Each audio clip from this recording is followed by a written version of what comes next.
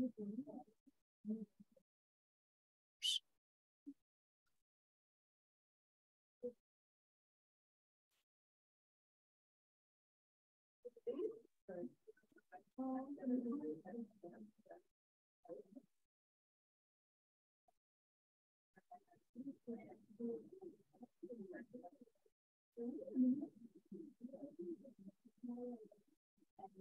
Thank you. Hello,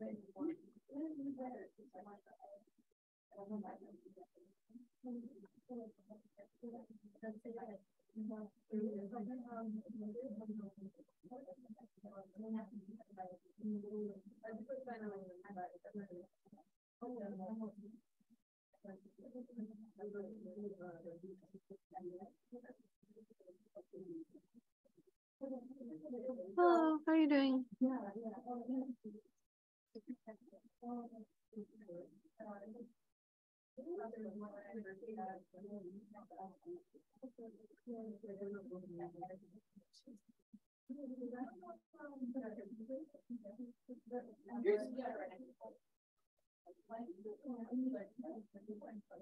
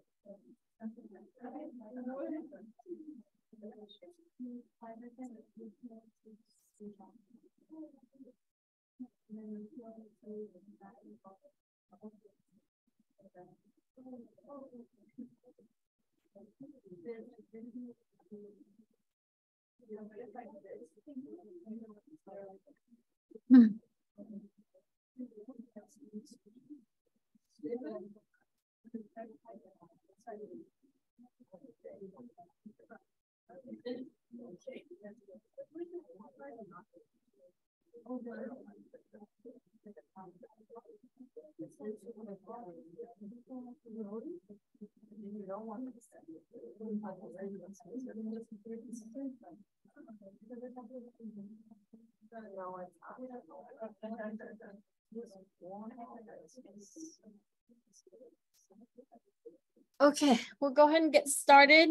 Um, if you didn't get your insurance card because you weren't here yesterday, make sure you see me before you go home today. So yesterday they mentioned that there is no um ride coming back from LAX when we return on the 27th. I have the flight tickets here. So we are gonna board at 11:45 going home back home to California uh, from Costa Rica on the 27th. And it's we're gonna arrive about 4 p.m. Be expected that you're gonna go through customs, so that usually take a little bit. Um, so if you have your families come to LAX to pick you up, just let them know that, you know, if they arrive at 4 p.m. to pick you up, you might not be able to exit the airport until a little bit after. So, you know, I normally give custom an hour to two hours, and that's normal because sometimes they, for international flight, they always take a long time. It depends on how many flights arrived at that time and how many people on the flights before us. Um, and then if there's any issues with people bringing stuff back. So, you know, just to let them know. Now, an option for you, I was talking to my husband yesterday and I was like, Friday, LAX, you coming to pick me up that and then in the evening, late afternoon, it's gonna be pretty crazy. And he's like, well, why don't you do Metrolink? And I, you know, I've done that before. Um, so Metrolink offers a bus from LAX to the train station. And if you live near downtown Riverside, it's perfect because it's so close to the train station. And there's train station across Inland Empire. So you you have to pay ten dollars for the bus, and you can buy it online or you can buy it at the kiosk there. Um, I would suggest online because it's easier. So Metrolink bus is through their website. Then you can also buy a bus, a train pass so when you arrive to the train, you board the train and you just gotta make sure that you arrive to the right train. Um, you can always ask the conductor and usually they're right near the train. Um, and then it will take you through and it will stop at various stations for, so I think you just gotta check the schedule to see. I think the latest train runs about coming back here is about five, uh, six or seven o'clock. So I think we might be able to make the train for the evening. If not, make sure that you contact your family members because if you Uber or Lyft back, it's gonna be at least eighty dollars, right? Um, I know because I've done that before. So possibly look at the train schedule. If I find something, I'll let you know. And I know it goes all the way to San Bernardino as well. So if you live toward that area, that might be a good option for you. But I know it stops in various part in Riverside um, and Corona. So if you live near Norco, you can Lyft or Uber back from the train station, which only costs less about, about 20 bucks or less, right? Depending on how far you live from the train station or someone can come and pick you up like a friend or a family member. So I think a good option for us to look at is getting a train ride back. That's what I'm planning to do because I really hate driving in LAX and I hate asking people to do that.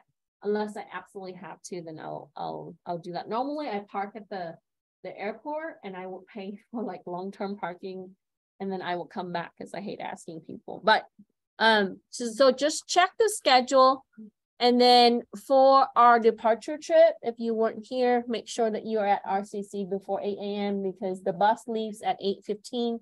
And if you miss the bus, you're gonna have to get to LAX before the flight. And you know, check-in for security at LAX is a little bit uh, longer than most airport, like Ontario or another airport. So, um, and if you bring electronics and, and things like that, you have to unpack those things. It all depends on their policy at the moment. Um, so, you know, try to size down, travel light, and I'm gonna keep the same thing in mind because I'm gonna try not to bring so much stuff. But anyway, any questions?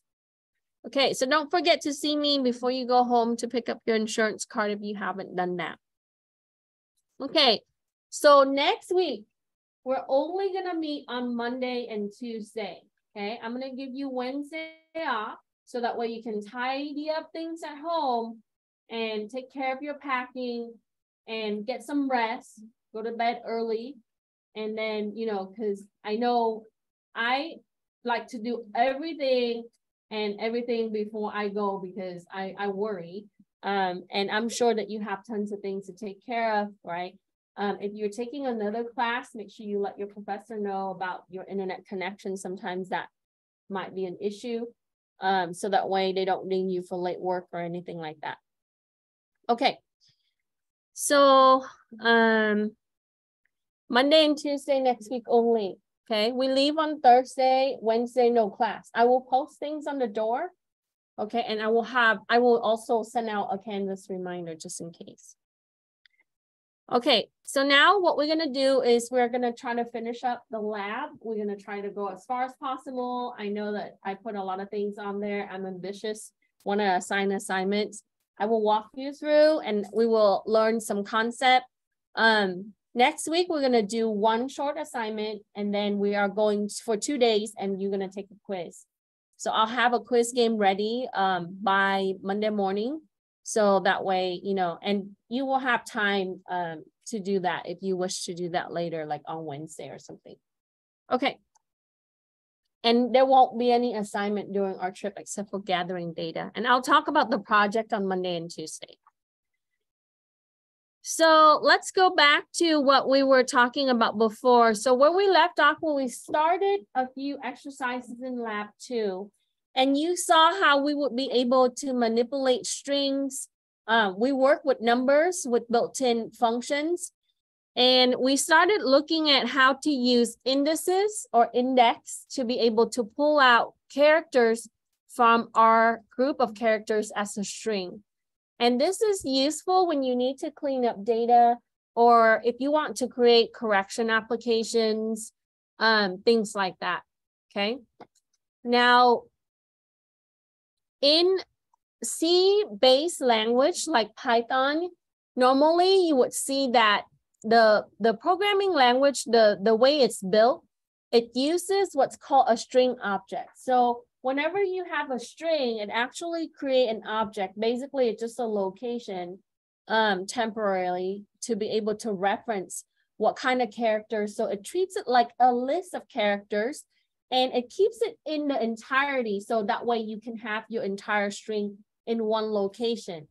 imagine that if we have a, a, a, a like a word and if it's located elsewhere and it's not able to find all the characters, then we won't have accurate data.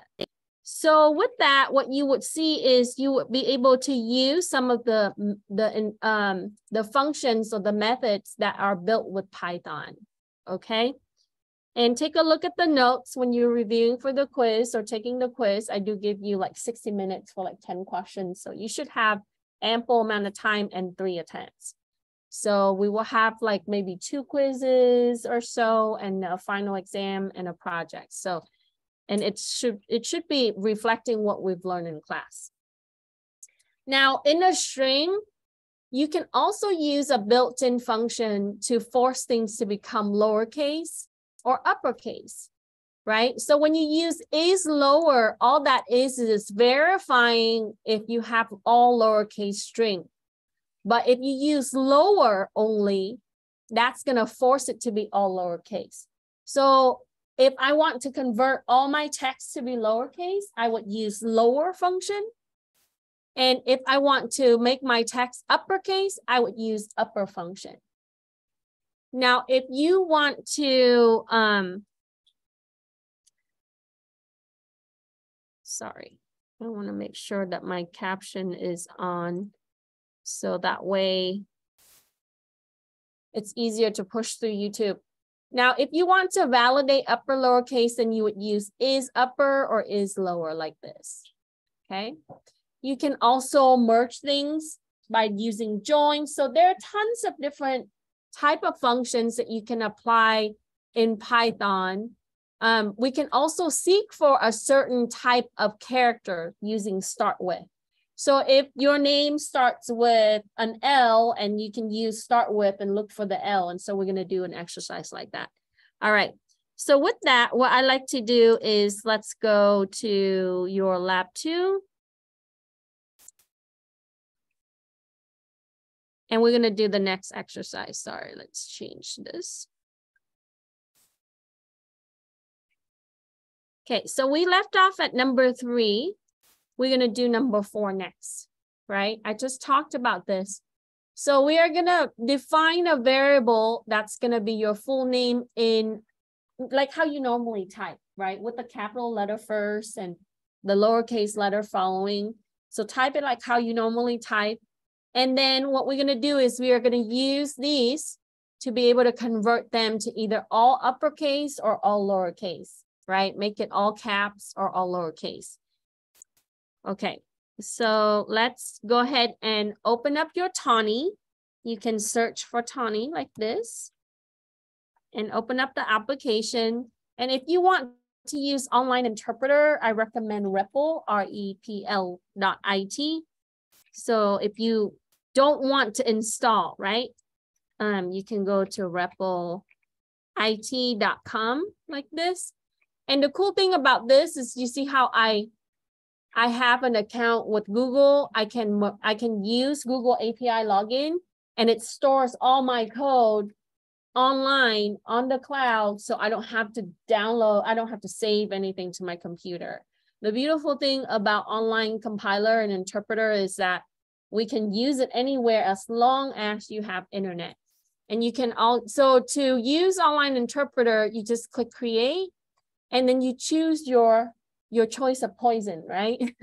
your language. So in our case, you would do Python. I'm going to show you, and then you give it a name, right? So let's say I'm doing lab one EX4, CIS 30A like this. I normally put the course number so that way I know. So you click create. So just click create button and your shell is going to be on the right. Your editor is going to be on the left, right? And when you click run, you just click run like that. And it shows everything on the right. So now it does store some stuff temporarily, but you don't need to be aware of that. And then you just type your code here and then click run and it's output here. So a good option to use is to use this in place of Thonny or IDLE, right? But here I have my Thonny. So for our code, oh, I meant to click number four. Sorry, it's been a long day. Um, okay, so for our exercise four, we would start with our variable and you can call this full name or name or anything you like as long as it is distinguishable and it is not part of the keyword in Python. Keyword is like is in uh, specific things to already pre-made um, commands in Python. Then you are gonna type out your name. You can use single double quotation marks. So in my case, I have Kasey Nguyen. And so when I wanna make this into lowercase, I wanna store it into a variable so I can just print from it. So I put lowercase or low name. And I want to bring down my my variable name. And you've seen how the dot operator used before. So we would do full name dot lower. And this is when we use the function. And then I want to print it so I can see that is lowercase. Now after that we want to convert it to all uppercase so I have another variable called up name and I want to bring down my variable full name and I use the dot operator to use the function upper. So what this does is it's going to execute, right, the conversion of this container which stores your name. And then I want to print that out. You can nest the print without using the variable. Like I said before, be careful when you're using temporary memory because interpreter sometimes loses the values when you have a very extensive program. So I normally create storage. And so if I need to reference it later, I can go to back to that variable or list or something like that to be able to pull data. And once you have everything typed up, you want to print that out and you should see lowercase first and then uppercase second.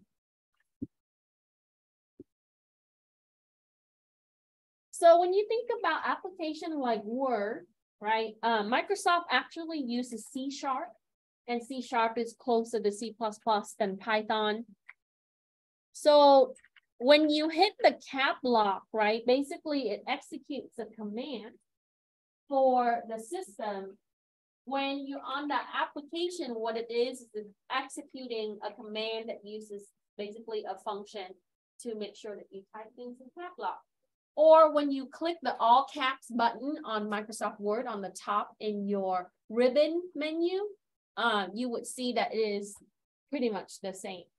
So we can still create different application doing this. And on the online form, know that user will type anything and sometimes you have to clean up their comments, especially like if you read like people's review, right? Um, so a, a, a good way is for a developer to go in and clean up some of the things that people add into comments, or if they want the exact review, um, or you know, do some kind of spell check, things like that. So that's something that is incorporated with a function call um, for web development. Any question on exercise four? Lab two. So once we have it successfully ran, make sure that we copy or do the print screen. So press the print screen button. I'm going to show you another technique, okay? Because leaving my class, you should know how to use your system a little bit more effectively. There's a feature in Windows called snip. This is very similar to Mac OS, right? And snip, what it allows you to do is cut a portion of your screen instead of taking the whole thing. What if I don't want to show everything on my screen? So when I'm using snip, it's going to show up like this and you're going to make a new snip and you're going to drag what you want to cut like this and then you would be able to pay. So it's going to show up. So you can save this as a picture, a PNG file, right? When you when I save, it will be an image file, or you can paste it into a Word document like this. See? So it comes in as an image on a Word document. Okay, so again, we use snip, we call it using the search. Okay, and it's gonna come up with the menu. You're gonna make a new and then just drag it. Okay, so once you click new, it allows you to drag what you wanna snip and then you wanna paste it or save it as an image. For my class, just paste it to the document like this. And so that's another way that you can actually take a screenshot or a part of a screenshot of something. All right, any questions? Okay, now we know how to use upper and lower. That's part of number four. Next, what we want to do is we want to play with, we want to play with join. So what join does is it's going to combine things together, right? Um, what happens I don't know. I I I occasionally run across people who type their text with period to represent case, right? Like especially for some people who don't know technology very well. And sometimes um, I work with developer when when when I look at like applications and how secure it is and things like that. Sometimes you know I look at how they clean up um, user input so what we can do is we can take things and we can join, combine words together using a symbol, right? Um, so join allows you to combine strings, right? Or substring together. So that way you can add instead of a space or a comma or a period, whatever symbol, you can replace it with another symbol, okay? So what we're gonna do is we're gonna create a program that's going to have our family member names and you don't you can have like three you don't have to have too many or you can have more. And what we're going to do is we're going to join each of the name with the hashtag. Okay? All right. Because the reason why I want to use hashtag is you guys know you can tag things online right so whenever you click the tag, right, it, it, it just basically tell the application to add that symbol. Well, somebody has to write the code for that, right?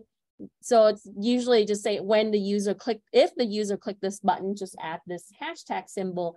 And so when the application see the hashtag, it tags that whatever the string that you're trying to tag, like, you know, Happy New Year or whatever. All right. So here we are going to do the next one. So click new document and we're going to do exercise five. So I have a list called family members. And you can say members or family, whatever you like. And I put in the names. Okay, and when I'm using a list, notice that it's using a square bracket. And each of the name, I want to put it in quotation marks because they are string, right? Text. And I use a separator to separate each element in my list. So this is element zero, one, two, and three. There are four people, so zero to three is the index. And I want to print out the original list. I want to see what it looks like. And then I'm going to have a variable called sim. And remember that the variable is going to store another type of string, another string, which is your hashtag. You have to put it into a variable because you need to be able to use join with it. So when I join it, it's going to take the symbol and then attach it to every single name uh, in my list. Okay, so it's going to say Benjamin, hashtag Joe, hashtag Paul hashtag Kim. Okay, and in here, what I want to pass for the print is I'm going to use sim, which is the hashtag, and I would use the dot join. And again, you would see that you would see the dot operator being used here. And then for the parameter in the join, I would bring down my list name. So I'm saying that access this list join each of the element with the hashtag symbol. That's what I'm doing with this line statement. So when I run this, I would see that the original list that I defined is here, right? That's first. That's the first print. The second print, it joined it for me. So you can use any symbol or any character you want. As long as you use it correctly, it should be able to show you.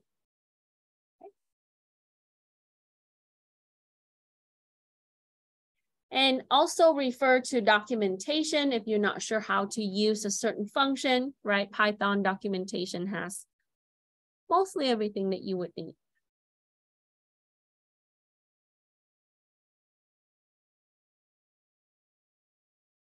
Any question? So pretty easy. All right.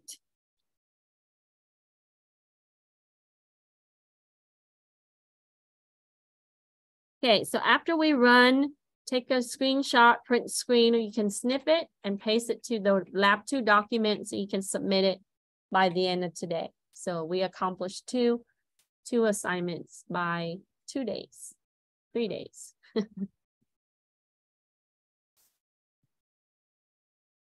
okay, so now what you're gonna do is you are going to use a pseudo function called start with.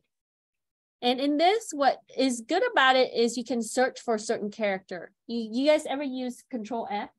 I do all the time. People send me like huge PDF. and if I need to look at something for an important section, I hit control F and I type the search keyword, right? So you can search for the keyword using control F. Control F works with almost all almost all applications, even on the web. When you're looking at the web page, or an article and it's too long, right?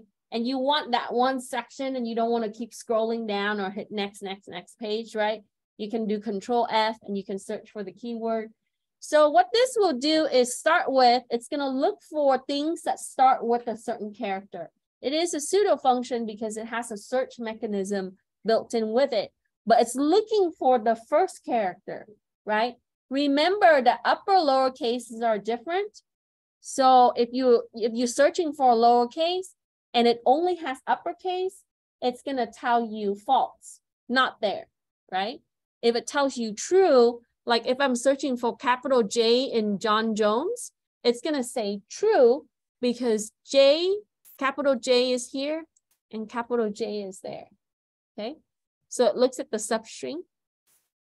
Okay, so we are gonna do your full name and we're going to search for your first first initial. Okay. All right. So here is number six.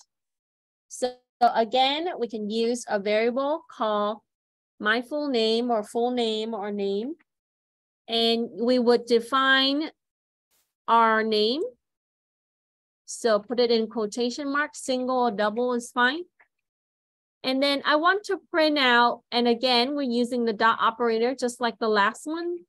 So we want to bring down the variable that stores our name, and we want to use start with, and you want for the parameter for start with, here you want to pass your character, which is your first initial. In my case, it's K, right? It could be J for you or N, L, okay? So let me clear this. And when you run it, it should just say true. So here is what you see what Boolean value looks like, right? It says that I am looking for my name that starts with the letter capital K and it found it, so it says true. But if I'm looking for lowercase k, I'll show you what happens it says false. You see how upper, because the system sees the uppercase a different value, a different number compared to a lowercase k. And that's how it can distinguish between upper and lowercase. Okay. Same thing with your password. Right? It tells you to use strong password, upper lowercase is different. If you type in all lowercase, it doesn't match, it tells you false. Okay. Any question? Ah, two lines, pretty easy. Right, screenshot, put it onto the document for your lab two. Oh, you see, like, you know, even though we have like 20 questions, you breeze through this. It's really easy. Okay, so this is also included examples in the notes. So if you want to practice, you can do the notes example. There's also optional book. You can take a look at that if you want to expand your coding skills.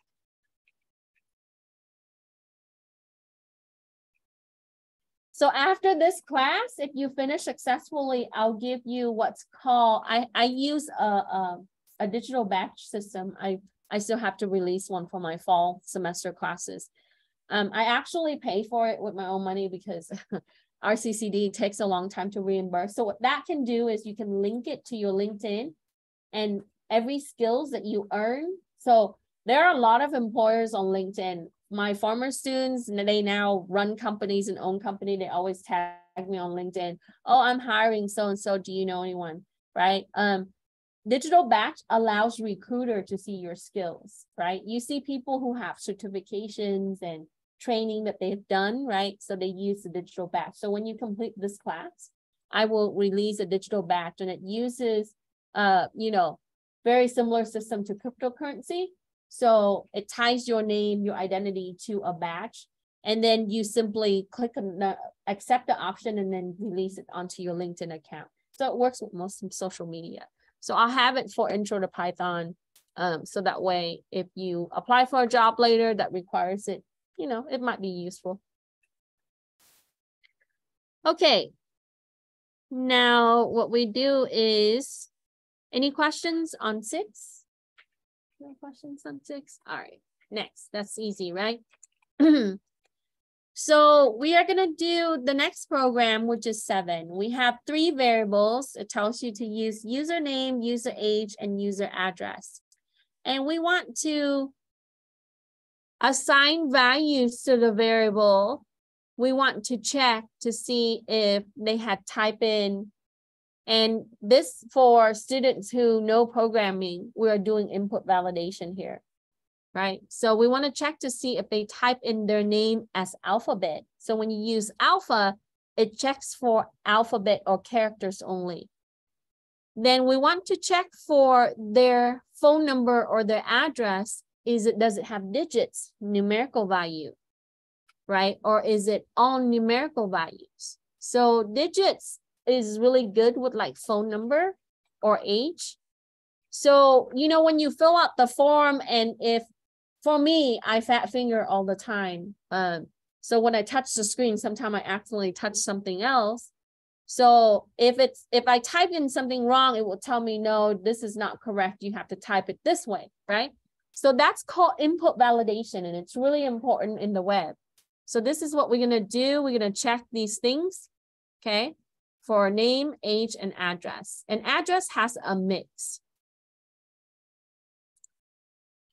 Let me open seven.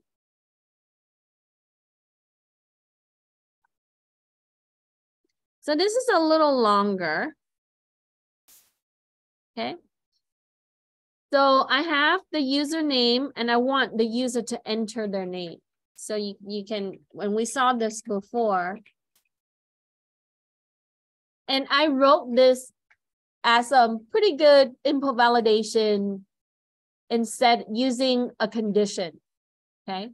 So as you can see here, when you're using an if statement, it's gonna check, right?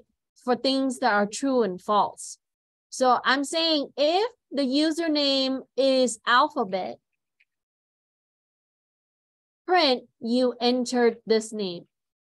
Otherwise, else, right? We would ask them to re-enter their name.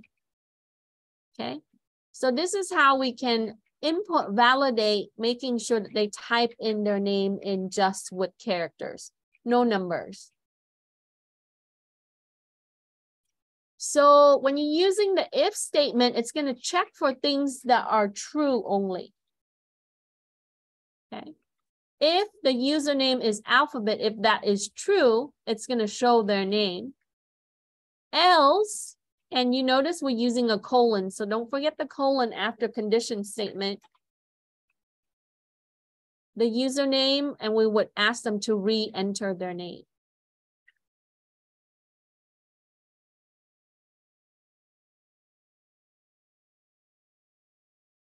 Then I would have the another section for their age. I have a variable called user age, and I ask them to enter their age. And again, we want to validate if it is just number. So we would say if user age is digit, if that is true, we would want to show their age. You and you entered and then this number. Else, we ask them to re-enter their age. So if they mix letters and number, we would they would have to do it again.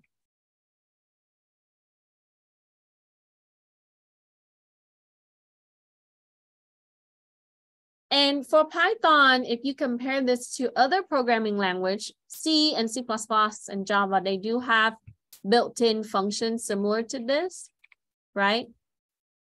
But for those of you who took C++ before, that's a little bit more, right, complex. Because you have to say if it is this and this and this, right? Um, so Python's streamline a lot of these things through their built-in function, sorry. okay.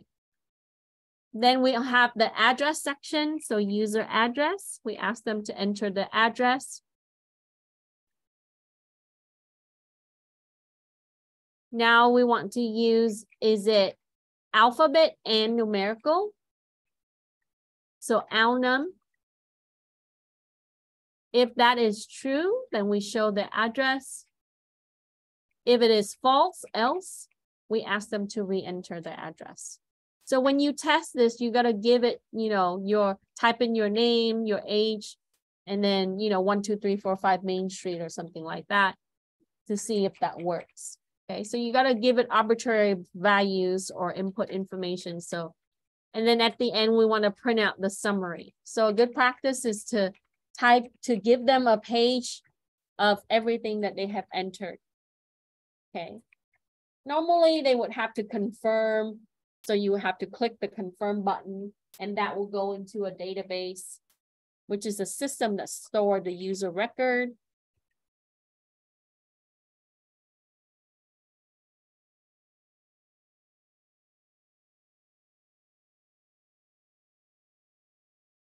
So with this, what you learn is you also learn to apply conditional statement.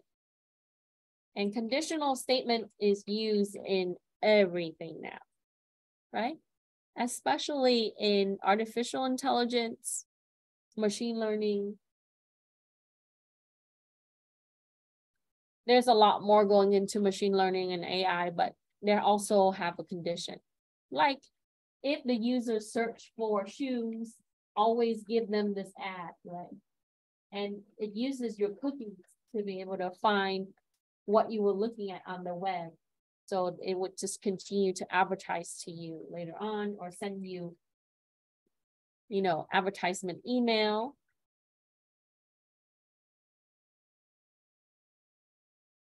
Or it can say that if the user always search for this address on Google Maps, right? Um, you know, add it to the common use list. Always prompt the user this when they open the map app. There's a lot of things that is useful with conditional statement.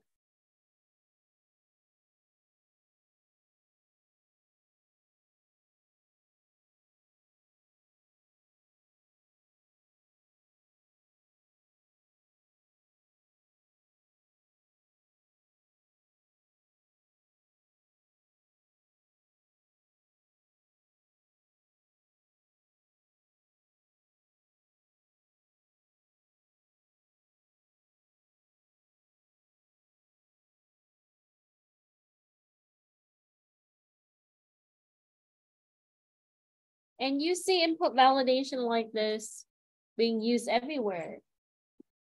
Instacart, social media, right?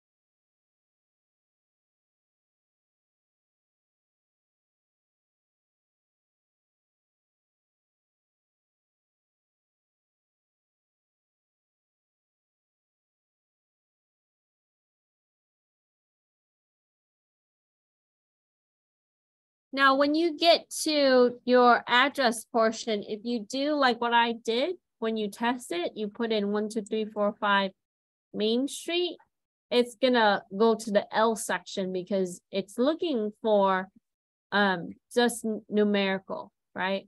Alpha numerical. So when we're putting in just the numbers in the front like this, so let me try this. One, two, three, four, five. Main, right? So when you type in the address, if you type the, the, the street name and the number together, it will pass. Otherwise, it's just gonna keep reprompting. Okay, so let me run it again so you can see. When I run, type in your name, right? So that's that's true. So it shows my name and my age, my address. So if I do one, two, three, four, five main like this, it will pass.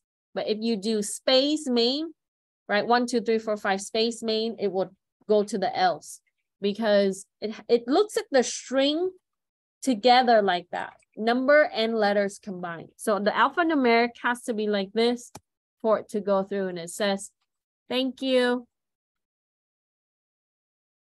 I had a print thank you, but you don't have to do that part. You just do the summary is fine. So it shows right? My name that I type, my age, and then the address. Now is for the is alnum, that's the only way that we can use it is when it is combined like that, right? So what they have to do is they have to separate it into the field and use other function to be able to validate that.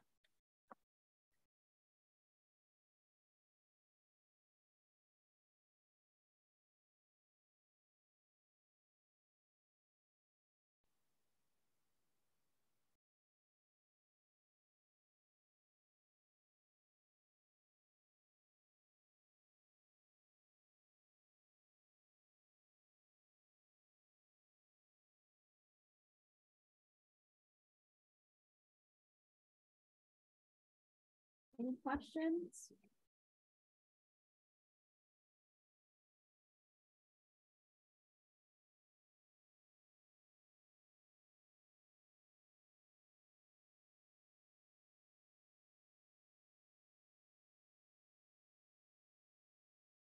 If you enjoy this Python development, you can make a lot of money. Mostly, almost many, many companies uses Python. I think the majority of the companies now use Python, so.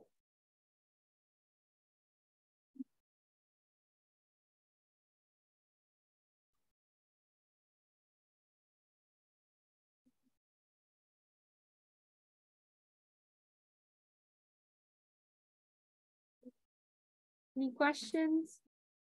We're doing okay? So what you did here is you use control control statement or conditional statement for input validation. And we use built-in functions like is digit, is alpha, is alnum to validate user input. Input validation is really big in security. It's a way for us to control injection, right? People can type in a bunch of things, a script to the field and they, that's how they can get your your username and passwords right from the database that's called SQL injection.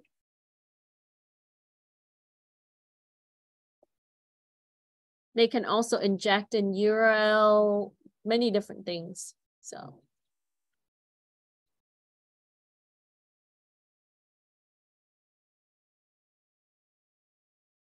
Any questions Right, screenshot, add it to lab two.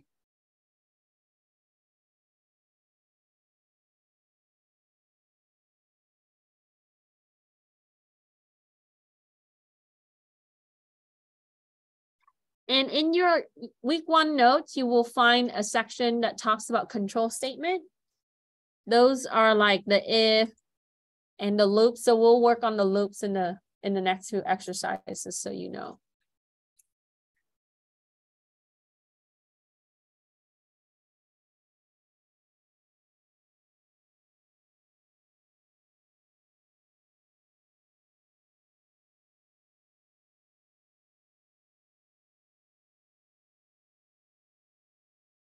Are we okay? Need any more additional time? Okay, so on the next one, we're gonna do string slicing. And string slicing simply, we saw a little bit of this before, but what we're gonna do is we're gonna pull characters from our word, okay? And you can do it with indices, and you can also use built-in functions as well.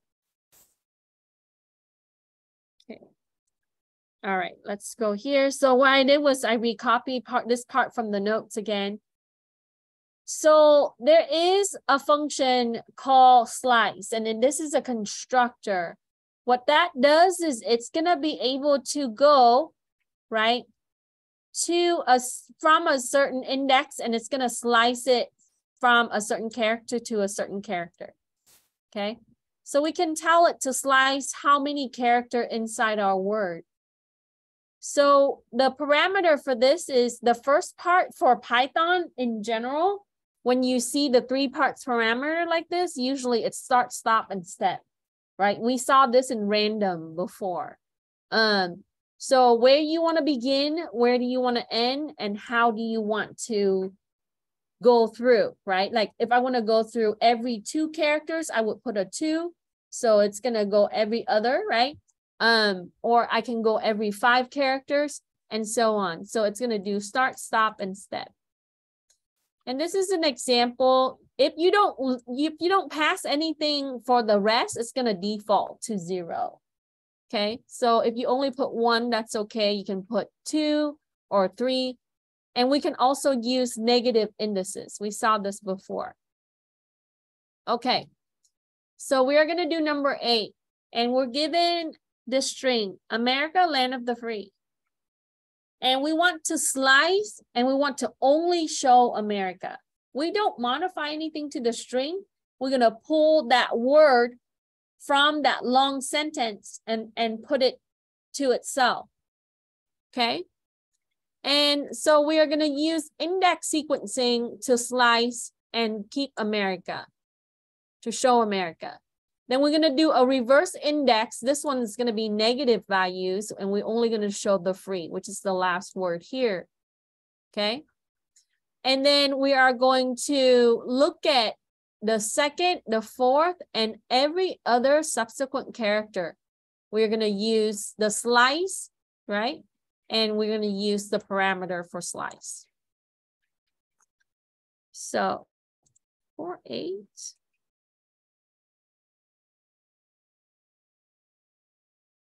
Here it is.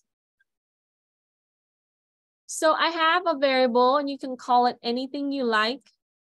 And here I have it as ASTR, or you can say, you know, my string, whatever you like. And you want to define your string, how it's supposed to be, or how it was given.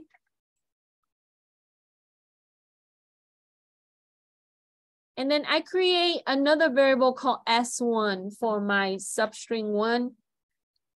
And what I'm gonna do is I'm gonna slice seven characters. So from the left, you're gonna count one, two, three, four, five, six, seven, right? America is seven character. So the first seven, I'm gonna take and, and put it into my variable so I can print it.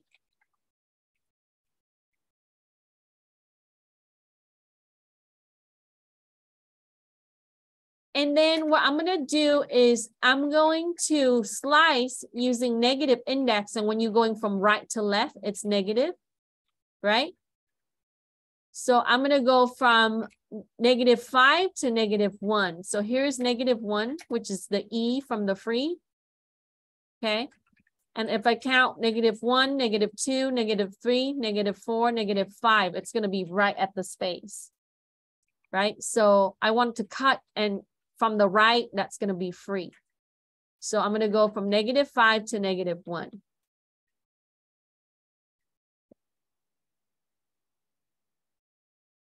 Because if you put negative one to negative five, it's the free backwards. It's gonna be E E R F.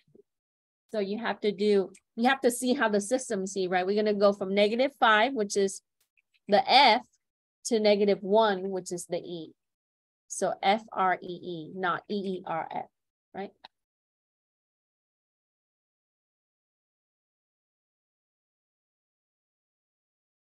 And then I want to go through the entire string and I want to step every two. So I want to do every other character and pull that out and put it into S3. So once I have these variable, I would be able to print. Okay. Now, what? why am I doing a list instead of a variable? Because I'm nesting. This is a list of character and this is a variable. This is a sub list of that list. So I'm doing a print, right, from my list and it's going to be the variable. So a substring of the string printed. And this is called index sequencing for slicing. And we are also using slice function.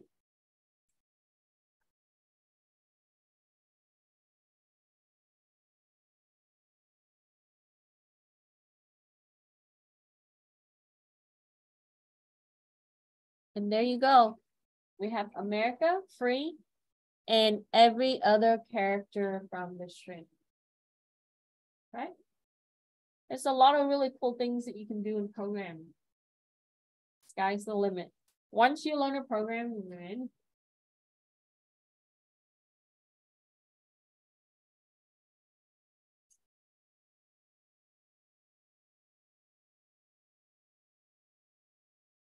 Any question?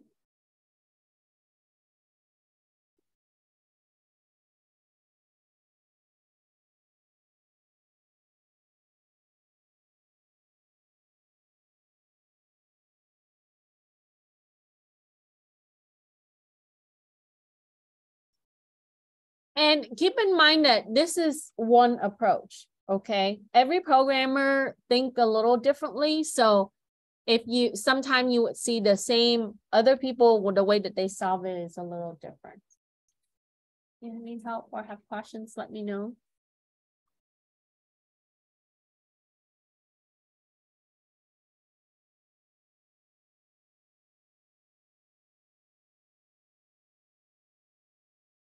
Okay, screenshot added to lab two document. This is exercise eight.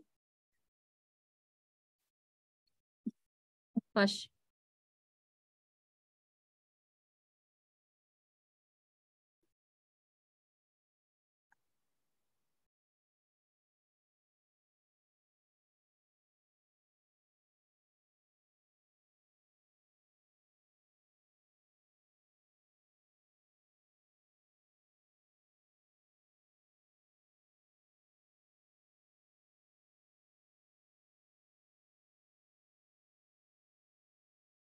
Okay, so next we're going to talk about membership operator. And what membership operator is, it's going to look at the group of data and it's going to identify whether the sub data or the substring in that group is in is part of that group. Okay. So Python has a keyword called in, and it's also using is. So when you say, just think about like if you're part of a club, right? Uh, you say that I'm in that club. So the membership operator, when you're using the keyword in, what that does is it's going to go and check in that container to see if anything matches, right? So for example, I have fruits here. I have apple, oranges, and banana. And I want to see if banana is in this list I just say banana in fruit, print, right? And it's gonna say that's true. But if I wanted to see if it's not in this group, so I can say grapes not in fruits, that's also true because my original list does not contain grapes. Okay.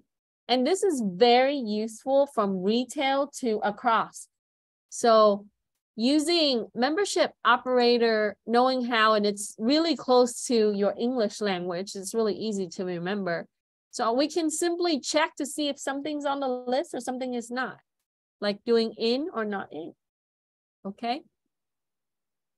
And so for number nine, what we're gonna do is we are gonna ch check and replace. So we're giving the string no pain, no gain. And we're going to replace, right? And remove all the punctuation. That means exclamation point, the question mark, and the exclamation point in the given string. Okay. So we've seen replace before in, in exercise three. Uh, open a new document. This is nine. Okay. So here I'm using membership operator, as you can see, but what we're gonna do is we're gonna use a for loop. So we have a string and you can call it my string, strng. I, I stay away from the regular string because that's a keyword, right? You don't want it to get mixed up. So you wanted to modify on how you type string. And I want to define it and de declare it with the assign uh, or assign it with the string that's given. No pain, comma, no gain with all the symbols. And then I have punc is my variable and it's going to hold all the punctuation. And you can go as long as you want, right? You can add in the other symbols too. This is useful understanding that, you know, when we clean things up with data, sometimes we want to take away all the extra things that people type. Okay. Now, what the for loop does is it's gonna, it, the way it reads is for ch for the character in string if the character is in punctuation, right, we are going to replace it with blank. So when I'm using the, the, the quotation like this, I'm going to take out all the symbol and replace it with a blank space. Okay. So basically what we're going to do is we're going to have it seek for so the for loop, it's going to start with the first character. It's going to check, is this a, a, a punctuation symbol? No, right? Then go to the next. So it's going to check every character in the string. Okay, so it's going to go through and it's going to check. The reason why we have to use a for loop is anytime you have a list or a group of of something in the list, you have to loop through every single one. So for loops allows us to start from the beginning, right? And cycle through. It's going to execute, it's going to check everything in its body. So you have to indent, right? Your, your statement. So here we nest an if inside a for loop. So as it check the first character, right? So as it, it goes through and it loops through the first character, it's going to also check it. Is this a punctuation? No, right? Then go to the next one. If it is a punctuation, then it's going to add in the blank space, and that's all it does. So basically, this is an automated program. We can write this for the web page. Yes. And, and this string, does that read like letters? And then does the, how do you pronounce the other one? What, the character? The E, uh? The punctuation? Oh, oh, okay, then I that. Yeah, so P, the variable punc is all the symbol, right? You, you're not limited to the just the exclamation point, the question mark, you can put in hashtag, whatever, dollar sign. So if we want to clean up everything that's all the symbol that people type, that's what you do. So basically you look through every character that, that that's seen in text and check and see if those characters are symbols. Yeah. So if you can expand the punctuation list longer. Now, the reason why we use a for is, is for loops allows you to, to go through every character in the string or every, every item on the list. I love for loop. That's my favorite loop because I use it more often. So it's going to start the beginning. And in Python, less stuff than C, okay, or C++, because C++ has three components, where you start, where you stop, how you increment. It's harder to remember for C, C++. Python is easy. You just use membership and you're good, or range. So for range is very common too. Okay, so when you run this program, what it's gonna do is, see, the first round, it goes no pain, no gain. What happens, right? That's just, it's gonna go through and it's gonna take out the comma. You see the comma is gone, that's the first symbol's gone. So the next round, it's gonna take away the exclamation, right? Then the next round, it's gonna take away your question mark. And then the, the, the after that, right, it's gonna take away the last one. So as it does that, it adds in the space so the user doesn't really see the difference, right? But what the loop does is it's step by step. It's gonna go through this one first. So one, two, three, four, four rounds to take four symbol. So if you have more, right, it's gonna keep on going right? So if I have more exclamation point or more question marks, it's going to keep going. Okay. So what that's what the for loop does.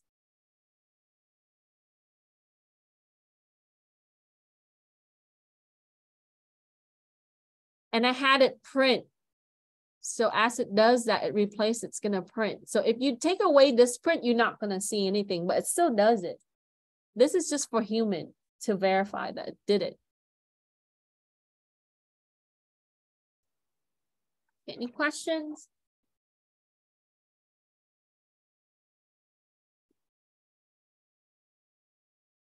So this is how we use membership with the nested condition. So you asset loops is going to check as well.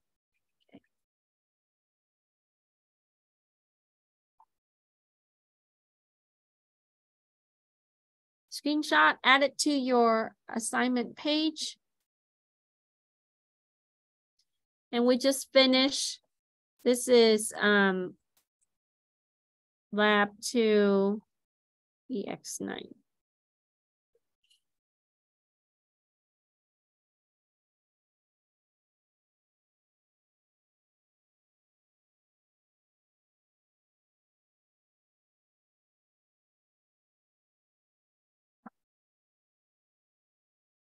Okay, pretty good. You guys did well so far.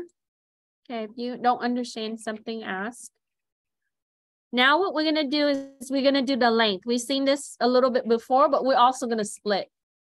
Okay, we're gonna take two word that's identical and we're gonna cut it in half.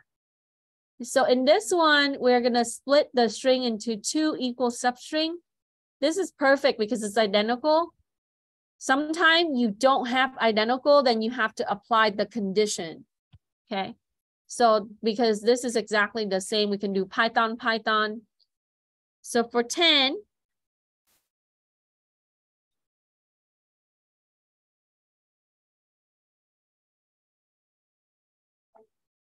this is how you divide it in things into half. And remember that this is just my approach, right? A common approach, but you can you can apply other approach as well. Okay, so I have a string called string one, and it's the given string, which is Python Python. This is number 10 for lab two. What I wanna do is I wanted to make the first string just this, right? Can you do index slicing? Sure, that's not a problem. But what I want to do is I want to actually operate it where it's it cuts it in half because it's identical. So I would take the string and I'm going to go from the P, which is the first item, index zero, to the N. and I'm gonna cut it, divide it into two. Okay, as they are the same number of characters, it's gonna do a perfect slice right there. But I need to handle this part. You can do reverse index, but what we want to do is we want to use the same approach from the first. So for the second substring, the second Python, we're to do the same thing. We're to slice it, but we are going to apply what's called mod modulo. So this allows me to look for any remainder. If it is zero remainder, right? Then it's gonna it's gonna slice. Otherwise, right, it's just gonna go to the end. So this applies to a little bit mathematical operations where we look for the remainder if it's no remainder, right? Otherwise, it's gonna go through the length and it's gonna increment by one.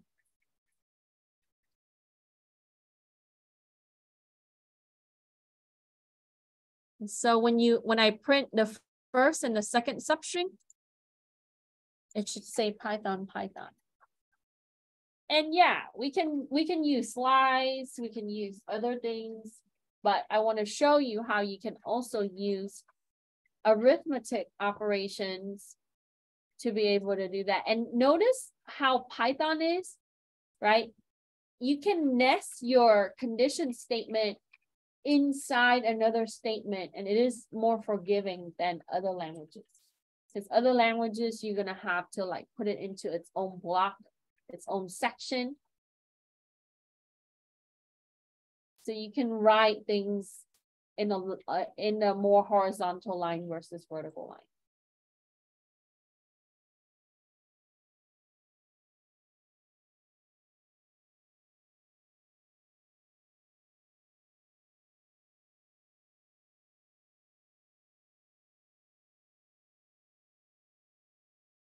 This is usually a challenge exercise when I give this to my online class, online only.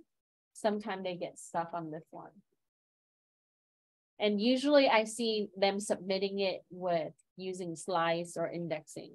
That's fine. That's how you, that's how they learn. But, you know, normally I would add this part of my lecture. So to show that you can use mathematical operation, cut things in exact half and if it is equally, evenly divided, so when you divide things even, there's no remainder. That's why you check for the zero there. Because Python and Python, they're identical. You count up the number of characters, you divide it by two, there's no remainder. We can check for the truth.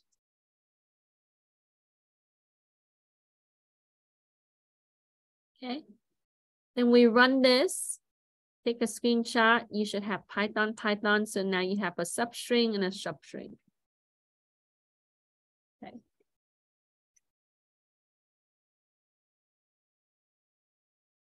So for, for some students in here are in computer science, right? Um, I know that the UC now, they do boot camp. So that means that the first two, three weeks, you have to code as much as you can, and they place you based on your qualification. So um, they give you problems like this and in different languages, sometimes Java, C, Python. And so I had a student, she was like close to 4.0 student, did really well in computer science. She, I think she went to um, um, I don't think it's Berkeley, it's one of the UC up north. And she told me the first two weeks they floored her. They she came out, she, you know, she was intermediate, they ranked her. Uh, she, you know, leaving community college, she thought she was really good, right? So, and sometimes you, you know, I get rusty too. If I don't program in a certain language for a while, sometimes I forget, right? just like all of us when we don't do something regularly. So I tell her, you know, the the only way you get better is to do well. I think she should be finishing now and she got a job, but you know, like it's the UC and the CSU now, they do a lot of the boot camp for the students. They kind of rank the student based on, and that's how they put you in the class.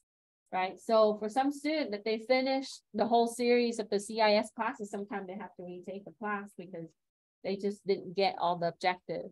Um, and I think that's good because it, it gets you ready for your job. When you interview, you have to code your way through. So my cousin is a, a senior developer for Java. He, you know, if you ever play Star Wars games or if you watch Star Wars movies, he did some CGI in that and he did a lot of the Lego Star Wars games back in the day. So um, he worked for LucasArts for a long time. And now he works for a company that does a lot of marketing. Um, but he tells me when he, you know, got laid off and he had to re-interview, he interviewed for Spotify, right? And they um they made him code for two hours. And he said if he was a newly graduate he probably won't be able to pass some of those questions because they were really hard, right? So the industry is competitive. You're just gonna have to, you know, just like any field, you just have to have to stand up to your plate. It's it's like you gotta come with it. if you don't, then you you're just not gonna have it because there's so many people going for the same thing. But once you have the job, it's great, right? Um, and here, you know, that's why internship and all those things are really important so whatever you go to, I encourage you to kind of get field experience. Like, you know, if you go into psychology, get internship. It's really good to network with people and find, you know, find ways into companies and so on. All right. Next. Okay, so now we're going to focus a little bit more on control statement. And um, if you're looking at the notes later, Okay, let me go to the navigation field. I categorize my stuff. So if you view navigation in Word, right, you will be able to see like um, if statement right here, you know, or you can do a search, control F, and then find. Okay. All right, so this is, it's on page 12. So we know that if checks for true only, so if it's true, it's going to execute whatever's underneath it, the body of the if, which is the expression. And otherwise, if you have the if else, it's going to go to the else section, right? We saw that. Okay. And using the if, you often see that they would use, these are called logical operator.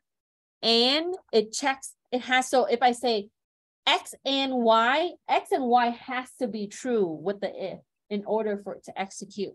If one thing is false, it's not going to go, right? It's going to go to the else.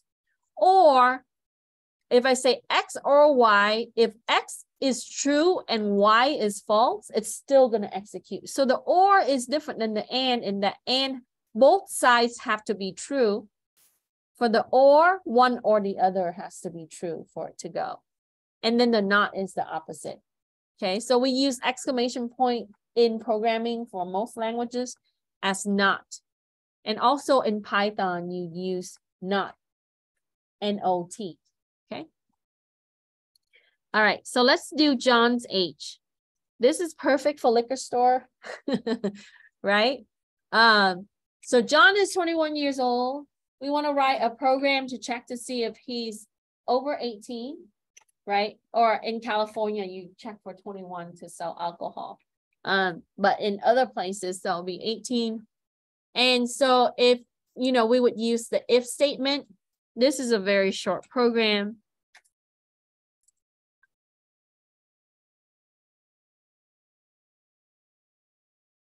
We're at 11. So I have age is 21. If age is greater than 18, print John is older than 18. And if you want to do 21, right, you say if age is greater than or equal to 21.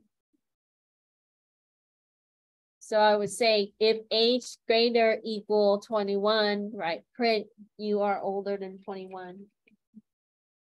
So when they scan the the product like tobacco, alcohol, things that require age limit, right? All they do is, you know, it's going to prompt them, ask customer for date of birth, and then it, it compute the date of birth based on, you know, the current year, who, who's older than 18 or 21. So it's a little bit more complex than this, but maybe a few more lines.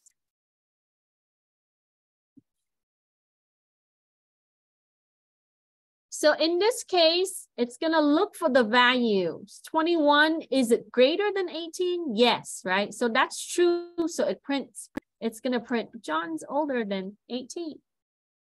Now, if I change his age, for example, if I put he's 11, like this, right? Nothing because we didn't have the else. You see that?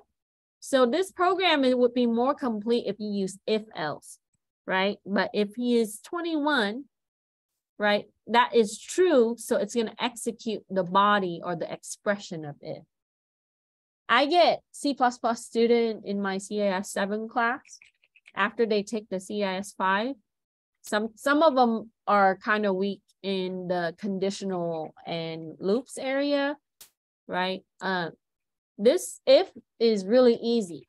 It would be true here to do here. Otherwise, it goes to the else and it will do the else.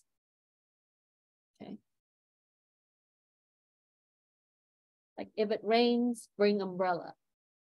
Okay, so that's true right now. We bring umbrella.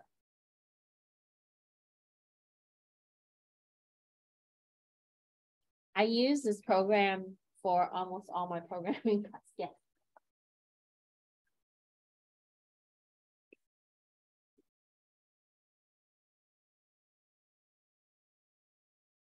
Yeah, so um, it says indentation error. Oh.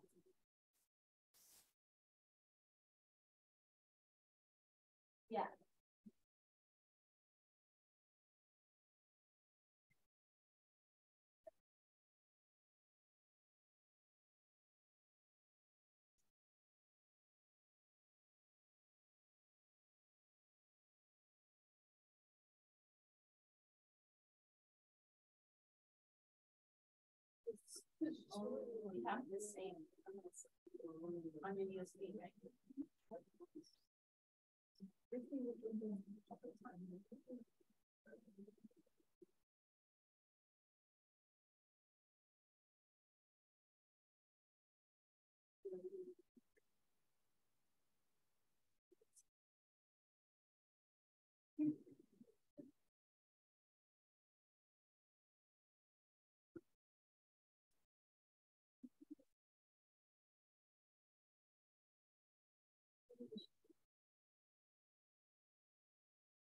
Oh, yeah, because you have a different limit here.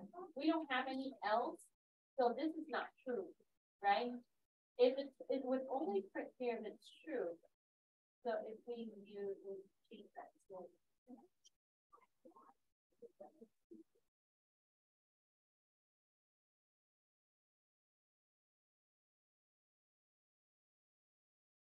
sometimes the software earlier has to be fully functional.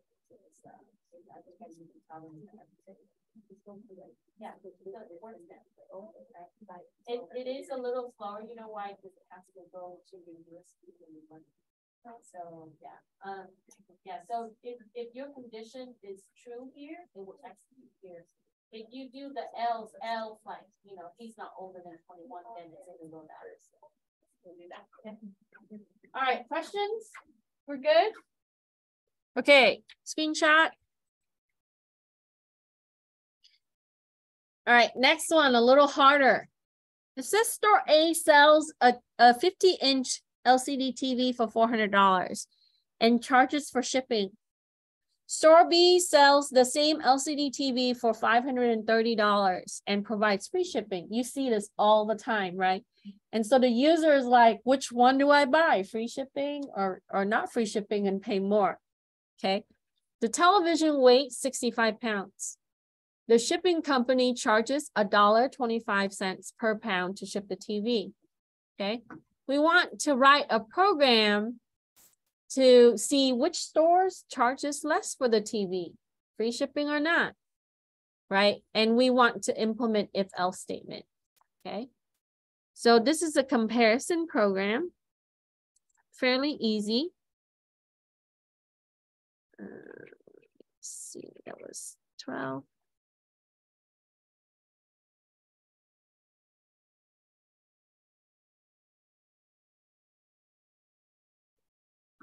Okay, so I have store ATV, $400. So I defined a variable because that's the data given to you. And the same TV is sell at store B, right? So TV weight is 65 pounds. We know that the shipping cost is gonna be the weight times the one, a dollar twenty-five cents. So we would say TV weight times a dollar twenty-five cents. And we want to show the shipping costs. So I would print shipping costs and bring down shipping. Then for store A, store A, I have to buy the TV and pay for shipping. So I would take the cost of the TV, add it with the shipping. And I want to print out the total cost. Then store B TV, they charge $530. So we want to print out their price. And we're gonna compare. If the total of A is greater than store B TV, print store A charges more for the TV, right? Otherwise, else, we're gonna print store B charges more for the TV. Pretty simple.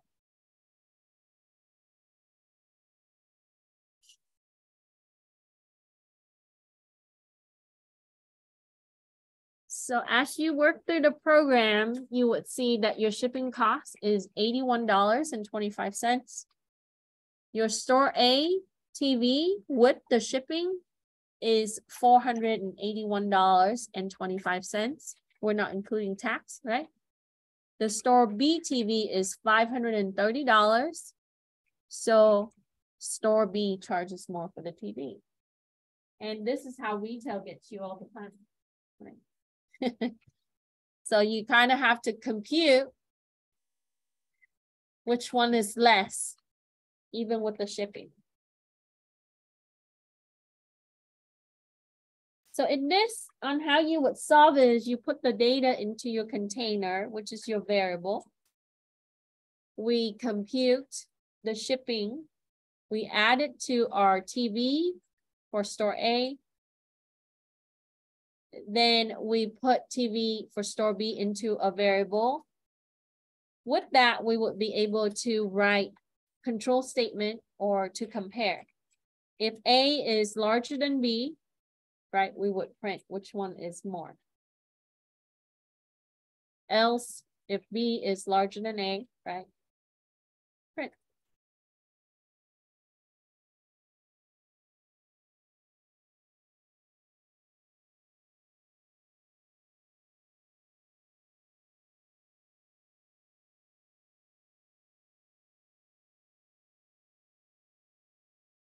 Now, if the shipping cost is more, like closer to five hundred dollars, or total for A.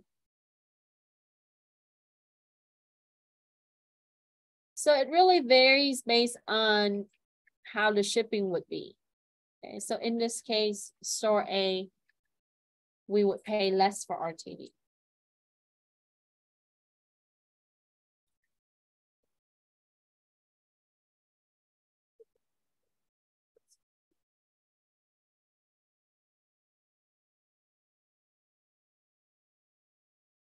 So when it look at the if statement, right, 481, it's not less than 530. So it goes to the else. So B charges more for TV.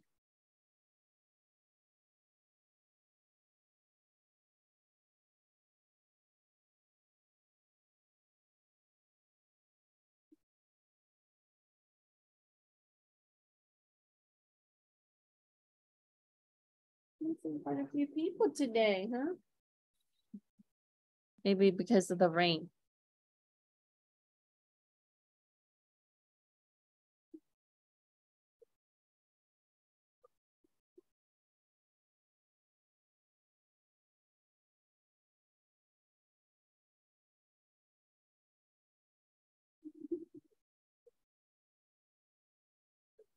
Do you have any questions? Okay, so we run the program. So make sure that we indent for if, right? The error, sometimes it will tell you why it's not working. And then condition statement always have a colon. Loop two.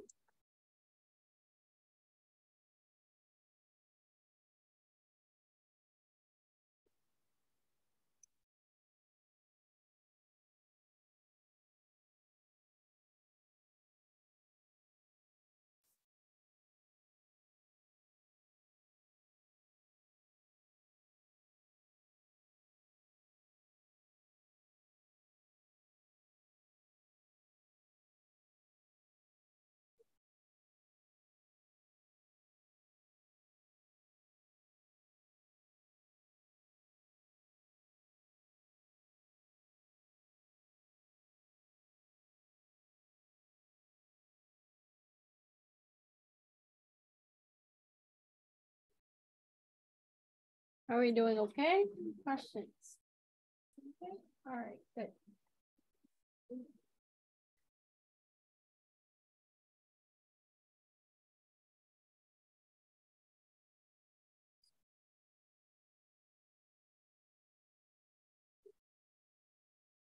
So after these two assignments, these are the majority of the concepts normally for the first three weeks of this course. Okay, so what I did was I combined the assignment so that way you get the objective. And when we travel, we don't have to do much of the assignments. Um, and then when we come back, we will focus on a few, a couple assignments and our project, and that's it. We're gonna do a GUI assignment and then your project. Okay. Um, so we accomplished number 12. Now we're gonna do a grade calculator. Okay, yesterday we did a little bit and earlier this week we did a little bit on this, but now you're gonna do a grade calculator. So it tells you that Marcella receives this grade. So you're gonna put this into a list. And then we're gonna give it a scale. If if she has 90 to 100, that's an A. This is a B, C, D, and F, right? So what we want to do is we want to do another type of control statement. And in Python, this is like nested if else. So it's if, elif, else. Okay. So let's open up.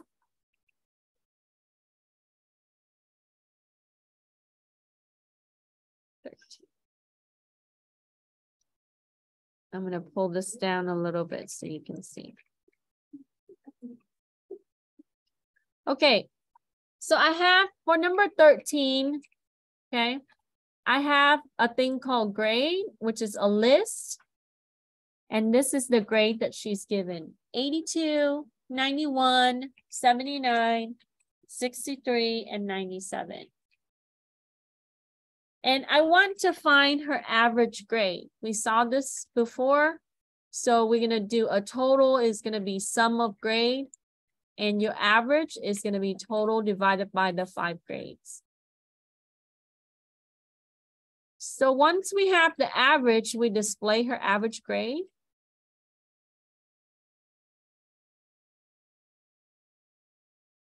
And because there's so many criteria in the grade scale, we want to check.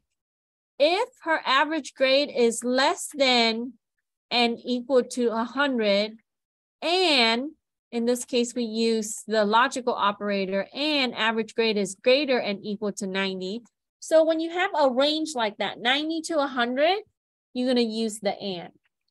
And that is going to make sure that it stays in that range. If this is true it's going to print a Okay. If her average grade is less than this, it's going to go here. It's going to go to the next statement and check again. If her grade is less than 90 and greater than or and equal to 80, it's going to print a B. So if this is not true, if her grade is below that, it's going to go to the next one. Okay. If grade is less than 80 and greater and equal to 70, that's a C. So if she gets below that, it's going to go to the next one to check. Right? So that will be 60 to 69. So if grade is less than 70 and greater and equal to 60, that's a D. And then below anything else below that, it's going to be F. So the last else, you don't have to put any, any condition because anything below that is going to be an F. And this is how we do a grade calculator in Python.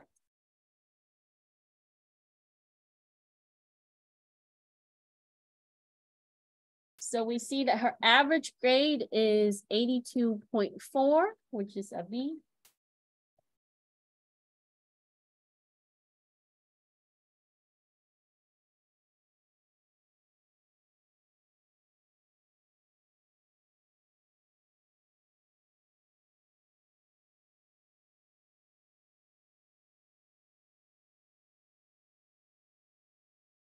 So in equivalence in other languages, like an else if, if else nested in an if else. So you can do it if else and then indent if else, but in Python, it's easier for, for us to use it this way with the elif. So you don't have a bunch of indentation inside your block.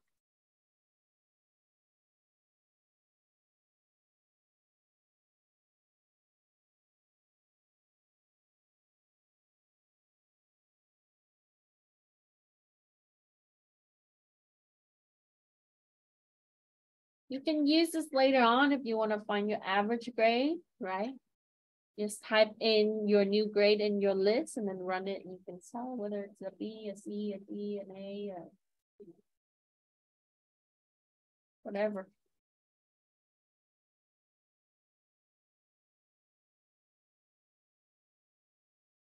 And we also learned how to use min-max before, so.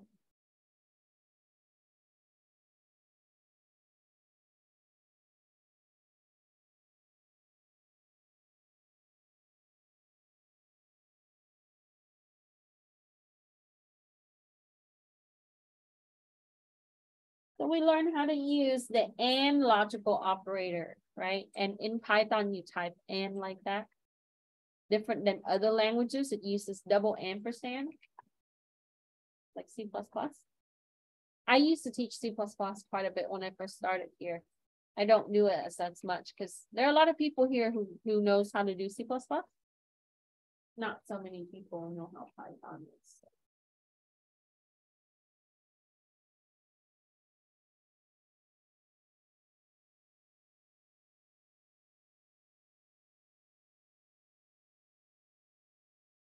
Now, this would not work with an OR because an OR doesn't, it has, it doesn't check both sides, right? Like the 90 and the 100, it only cares about one that's true and it's gonna go. So my students, sometimes they get confused between the AND and the OR.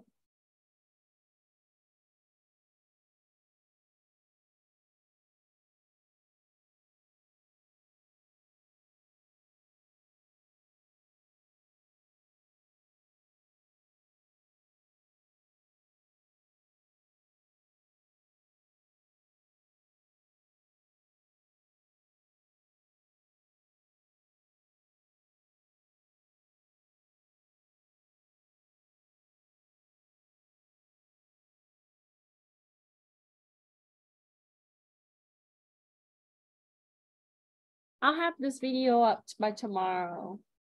Okay, if you want to go back and look for something again. The last two already been posted, so I just posted them yesterday, just now before class. Okay. And then there are also some individual exercises that I've done my own recording from before. So for my online class, I don't go over every single one like this. Some lesson I do, some lesson like when it's a little bit more hard, but I usually like give, I go over the harder example or exercise. So I do this for you guys just to help. And hopefully when you practice, you see how it works.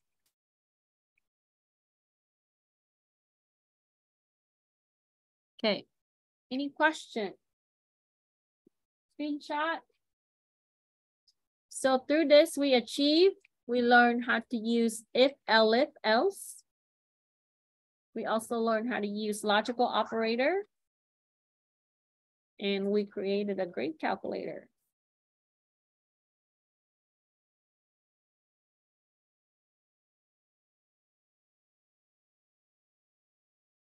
I had a student that wrote a thousand one hundred and twenty-five lines of code in assembly for my, one of my project in CIS eleven.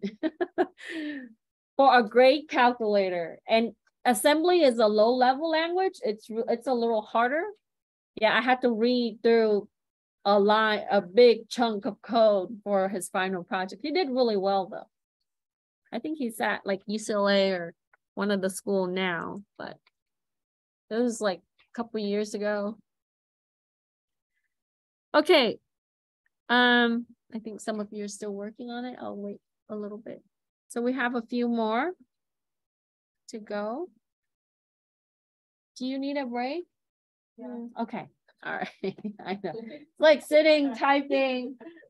You know, these desks do raise up. Some of them, I think they took some of the hydraulics things out, but I think only the front they might tie, or yeah, I think we should still be able to raise it up a little bit, but yeah, get up. You can go to the restroom, get some snacks. And um, you know, relax a little bit and then we'll see how far we go. Maybe I'm, I might not make you do all twenty. I know it's the end of the day. Some, some of you probably had work before this or class, probably tired. Let me pause.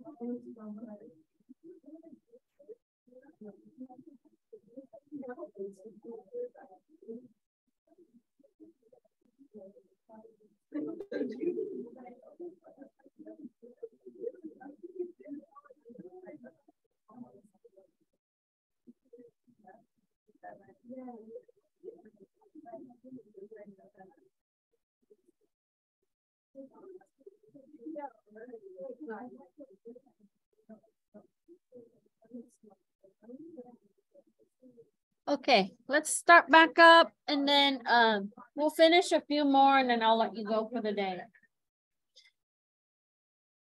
Okay.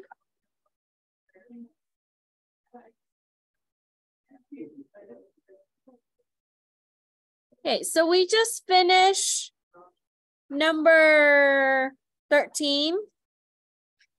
Um, let me see.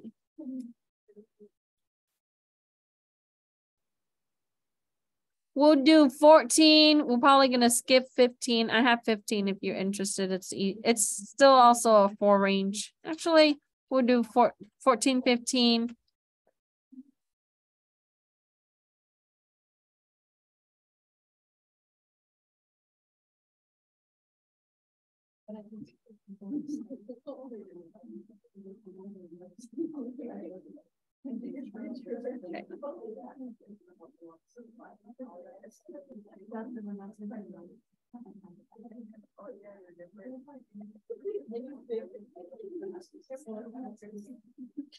All right, so let's finish 14, 15, and a couple more, and then we'll call it a day, okay? All right, so for 14, it says in the diet plan, the client loses 10 pounds the first month, 12 pounds the second month, and eight pounds the third month, and five pounds on the fourth month. We want to use a for loop to get the total weight. So this is what we call a running sum program, where each loop is, it's gonna add, right, the lost pounds together. Okay, so this is gonna be your exercise number 14.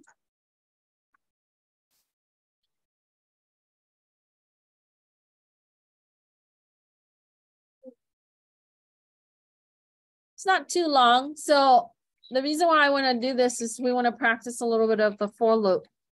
So we have a list called weight loss. We, we know that the client lost 10, 12, 8, and 5 pounds. And we want to have a total variable that's going to initialize at zero. This is going to get updated as it, it loops, okay? So we are going to have it loop. So first it's going to take go through and it's going to have 10. The second round it's going to add 12. So as it do that, it's going to put the total into this variable. And it's going to go from one index to the next, to the next, and then the fourth. And it's going to be able to print out the weight loss. Okay. Then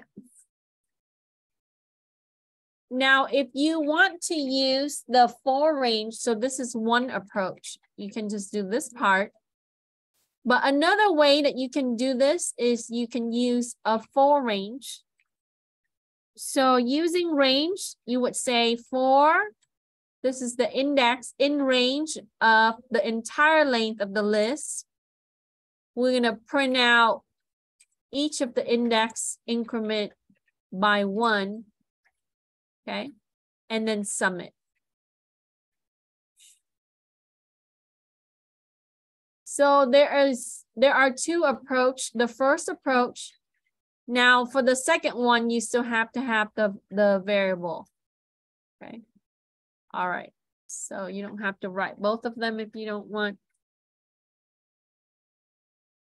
So here, the first print I have is the total weight loss for the four months. This person lost 35 pounds.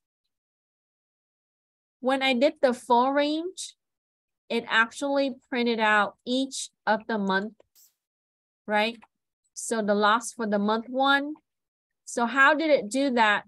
I had it increment for the month to be able to show one, two, three, four, five. I mean, one, two, three, four. And as it does that, it prints out each of the month loss weight. 10, 12, 8, and 5. Then it gave me the total. So when you do it this way, it shows each of the loop or each of the index that it access in the list, okay, individually, and then we had it added up. So not the same. So the first one, it only prints this. If you only did this for loop. So either way, you're still gonna have it correct, okay? You want more detail, then you can do it this way. So if you write from line two to line six, that's totally fine. You can also use line nine through 11 in place of line four to six. So when we're using range, we knew we normally have to tell it from where to where. So we would say the entire list. So you would use the length. But if you use the membership operator, you just say that for the index in the list, which is weight loss, we're gonna use, here's the compound operator. Okay. We're gonna take itself and we're gonna add it to the next index. Bless you.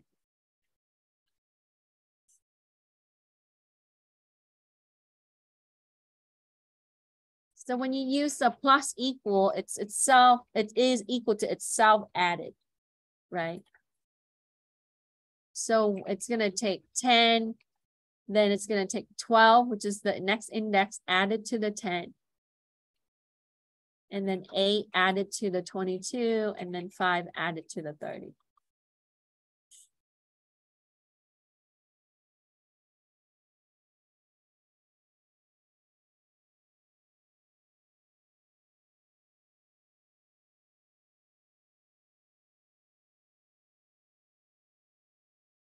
Now you can do this for like savings too, right? Like let's say if you save a hundred dollars the first month, $50 the second month and so on. So running sum works for any time that you need to keep adding over a period of time. Okay.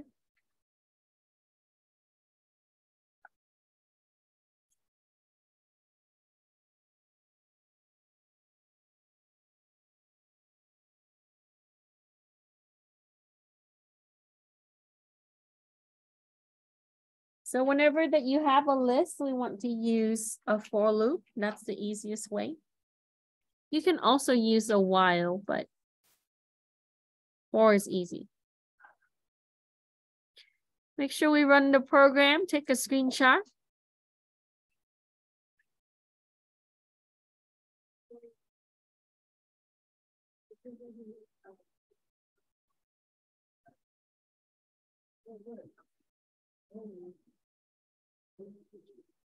嗯嗯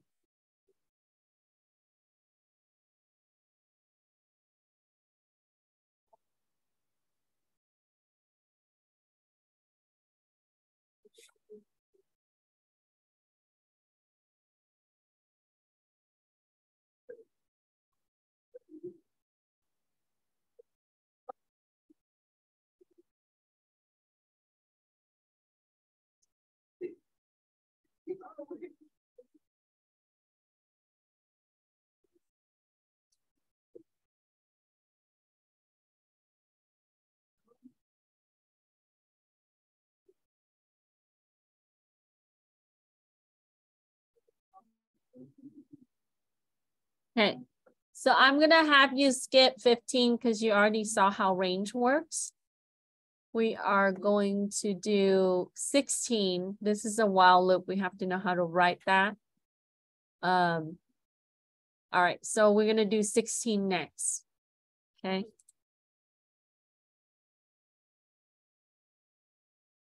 So for 16, we're going to do a restaurant application where like a fast food restaurant application. We are going to add up the order for the customer. So Katie ordered a burger, a milkshake, fries, two tacos, nachos, and lemonade. Can we do this in for? Yeah, we can use a for loop to add up all the items like we did with the running sum. But in this one, we are going to use a while loop. So I want to show you how you can do this. So there are options in programming where we can write loops. So while is always going to execute that's true, very similar to if right? But you don't want an infinite while loop unless you intend for it to be that way. So you have to let it exit at one point. Otherwise, it's just going to keep using your system resource. So what we will do, so we're not going to do 15, we're going to do 16 next, okay? Oh, wrong, wrong lab, sorry. So I'm in lab one. Number 16. Okay, so for this one, similar to the other one, we're gonna have to start with a list.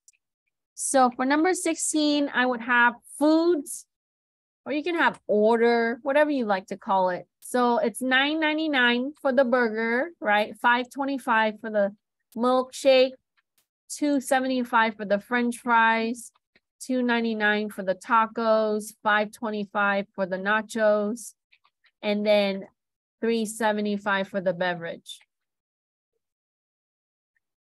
Then similar to the one that you've seen before, we're gonna have a subtotal. We initialize it as zero, but it's gonna update this variable as it adds these items when it loops through.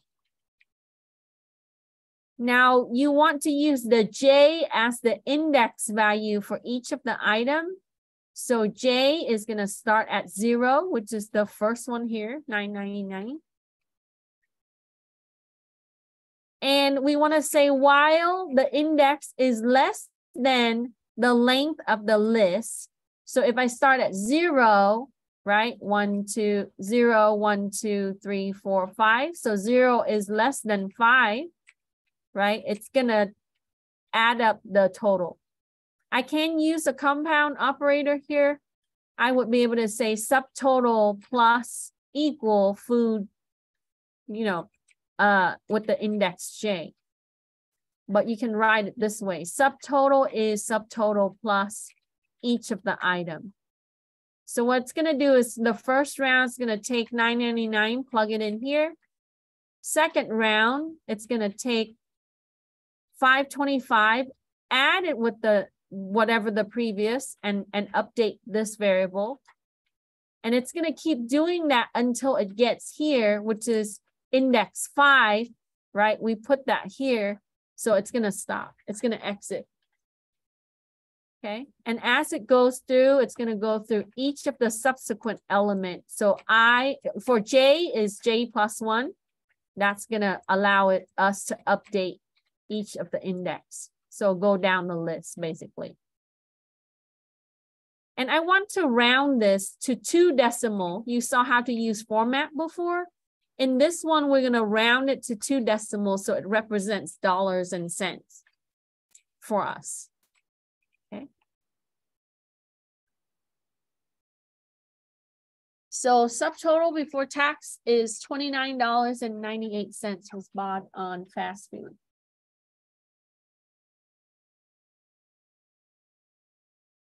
So when you go to McDonald's and use your kiosk, right, when you tap those items on screen, basically you're getting that subtotal, that's what's happening.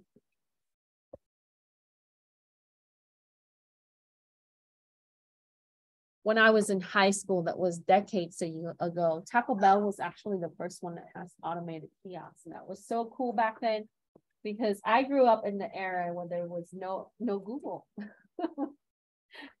so and my high school had Taco Bell on campus, so everybody went there.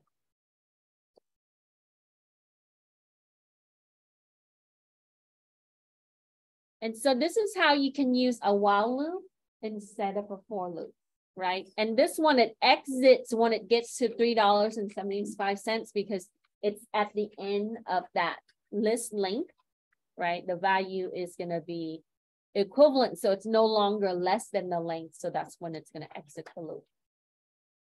Okay, otherwise you have an infinite loop. So if you want to use round, that's how you can use round with two decimal points. Instead of using the dot format with the two F for the float.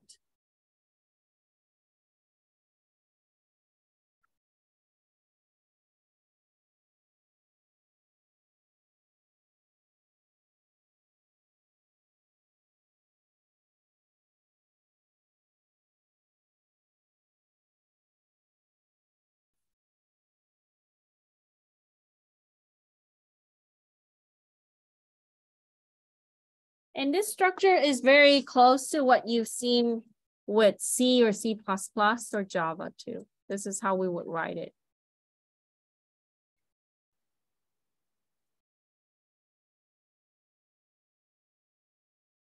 Any questions? Run, screenshot, paste, save. Okay. All right, let's see.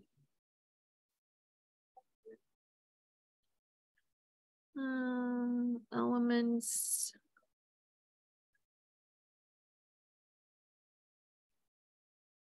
Let me take a look at my program real quick. Okay, I'm gonna, I'm only gonna explain this. I'm not gonna make you write this, but if you want to, you can, you can write it. Um, this is a little bit more complicated in the sense where it uses the break and continue statement, but I want to explain it to you what that does, which is number 17. I'm not going to require 17 or 15 on this one, right? Um, because I know some of you are like, oh, so much typing.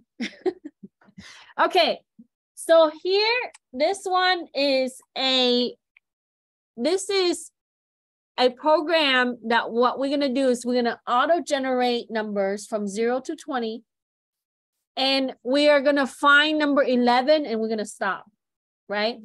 So let's say that you can have an, a number generator but you want to for it to stop at a certain number so we can use a break okay? So what the break does is it's going to stop the loop okay? It's going to stop executing the expression under the loop and it's going to pick up where the next part of the program is, which is line 10 and 11. Okay.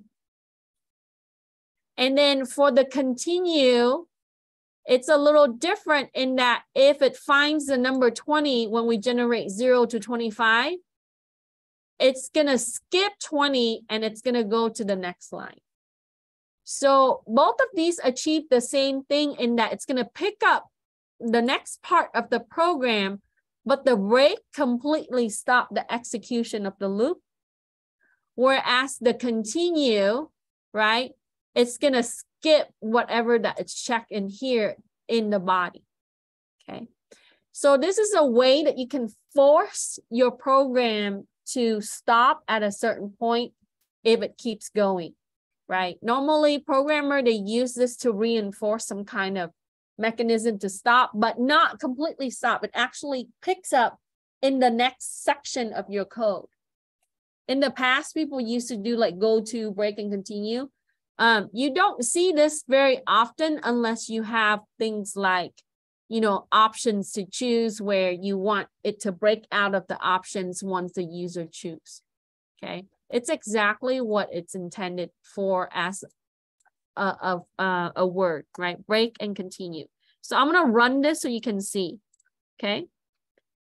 So when you, so I have a list called numbers. It's going to store 0 to 20 and then 0 to, or vowels for 0 to 25. Okay.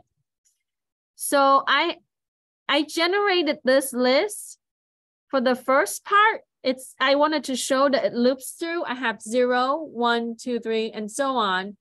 But I wanted to find number 11 and it should stop there. See how it stops there? And then it prints out my list only 0 to 11, even though I told it to generate 0 to 20. Okay. So you can make it a for loop with the range. And if you don't put zero in the front, it's gonna go zero to 20 automatically. And I have it append, so it's gonna plug it into this container. And when it finds number 11, it breaks out of the loop, it stops. For the second part, I use continue. So I have values as a list and I do the same thing as the first, but this is 225. If it finds, finds number 20, it's going to skip. So you're going to see. So the first round, it has zero, and then it adds one, right? So I have second round, two, three, four, and so on, all the way until, so it keeps looping until it gets to 19. Guess what happens? It skips 20. So what it does is when it gets to 20, instead of going and loop through the 20, it goes to 21 loop. So it skips that round. Okay. So that's how continue works is it picks up to the next one instead of breaking and stopping, right? It goes to the next loop. It completely stops. skip 20. So I have from 19 and it skipped 20, it goes into 21. And that's how break and continue works. Okay. All right. Um, okay, so let's do the next one. Two more and then we go home. Okay. So we are going to, um, this is our number that's given. We're going to make a list 100, 200, 300, 400, 500, but we are going to change them to be 100, 300, 500, 700, 900, all odds. There's several ways that you can do this, of course, but we are going to use what we learned in this week. It says eight, oh, sorry, wrong 18. 18. Okay, so you start with a list, nums for number 18, and you want to print it. So I want to print the original list so I would see.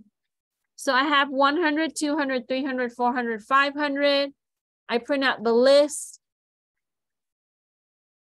And then what I want to do is I want to change these values. So when you redefining it with a different value, it's just gonna re it's gonna store the new value to the list.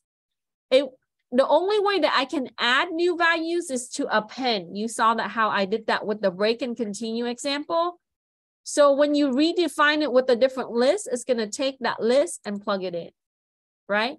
So what I tell it is starting with the second element, 200, it's going to replace it with 300. 300, it's going to replace it with 500. 400, it's going to update it to 700 and 500 is going to be 900. This is the easiest way without having to go through a for loop.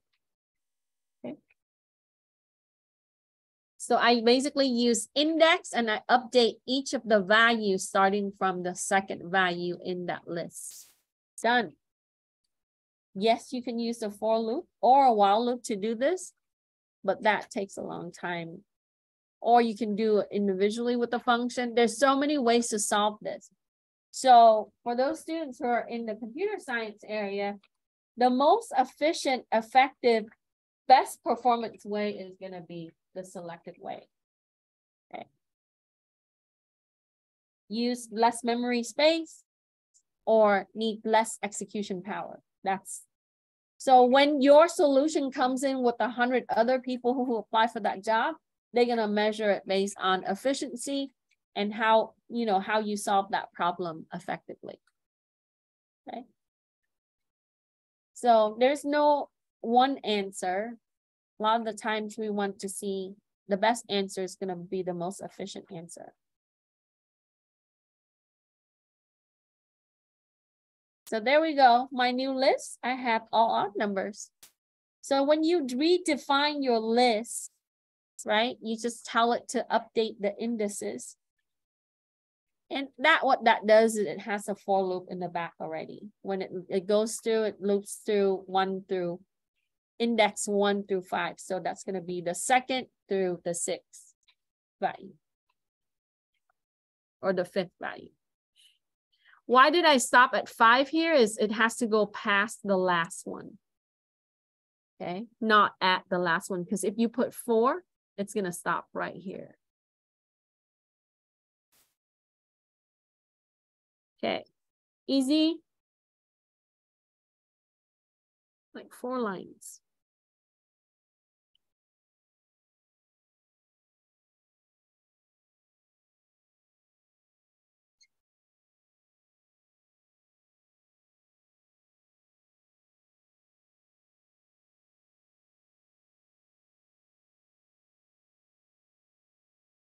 Okay, we, uh, let me see if let's do this one and another one and then we'll go home. Eight, 19 and 20 and that's it.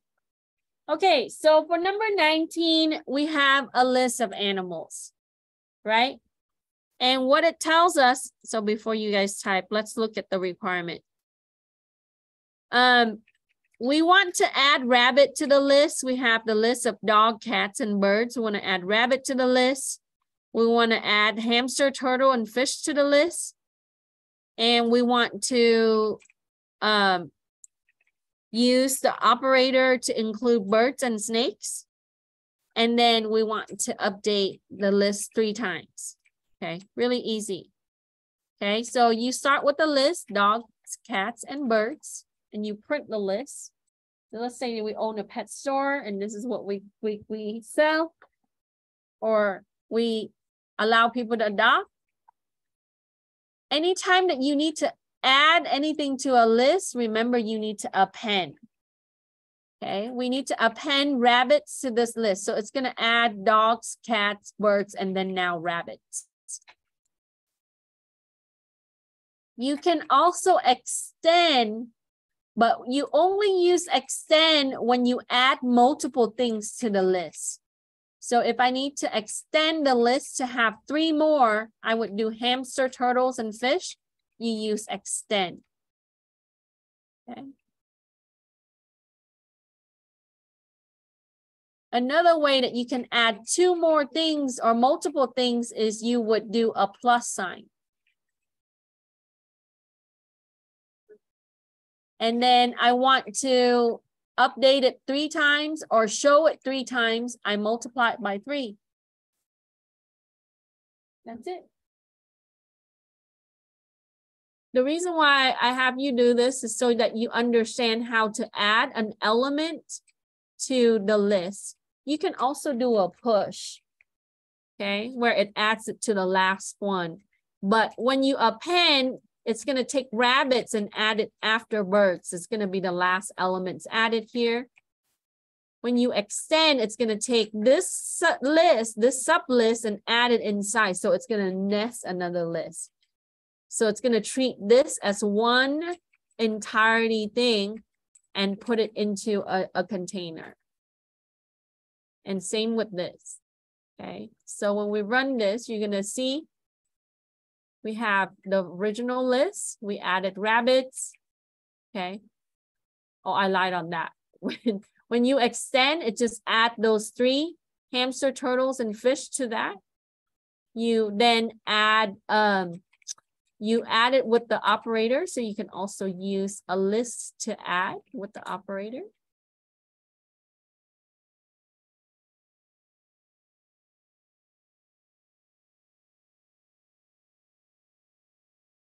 Now, the interesting thing is when you look at the output, when you do the adding for number 16 here,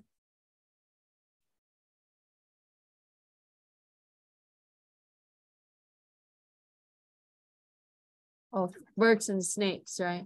Yeah, it just it just added it following the fishes.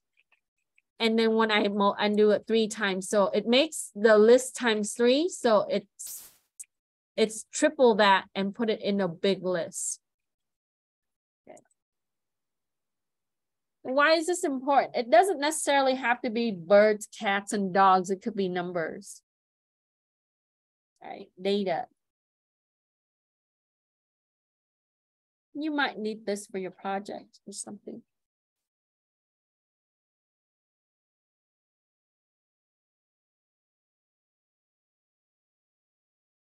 Easy? Any questions? So list is pretty cool. List is changeable compared to tuple, where we will talk about next week. A list, you can expand it or shrink it. So if I need to get rid of one of these things, right, I can pop it. So it, when I pop, it's going to take the last item and it's going to pop. We'll talk about it more when we work on tuple. Tuple is more static. This is dynamic. So for those of you who are familiar with C++, this is like dynamic array, but it's not a form of array, it's a list. There is array in Python too, so. All right, last one. So run screenshot